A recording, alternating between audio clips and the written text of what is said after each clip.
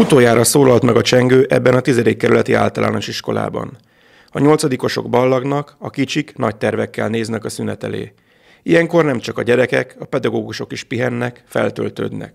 A szülőknek viszont nem egyszerű feladat megoldani a majdnem két hónapos szünidőt. Milyen volt ez a tanév? Tíz hét lesz a szünet, ezt egy szülő ma hogyan tudja megoldani? Hát ez nem egy olyan egyszerű kérdés, mert nyilván kisebb gyerekeknél ez problémát jelenthet, de nyári táborok rendelkezésre állnak, hogy, ez, hogy a gyereknek tartalmas időtöltést tudjunk találni. De elmegy edzőtáborba egy négy hetet, és akkor talán egy hetet együtt, meg nagyjából két hét szabadság lesz, vagy három, így gyakorlatilag azért annyi időt együtt. Hát utána meg péntek, hétfőtől péntekig az ember dolgozik, szombat, vasárnap azért együtt van, és akkor szabad időt el tudja tölteni. Milyen lesz a bizonyítvány? Hát többé-kevésbé jó. Elégedett vagy? Nem teljesen, de volt már jobb is mondjuk így.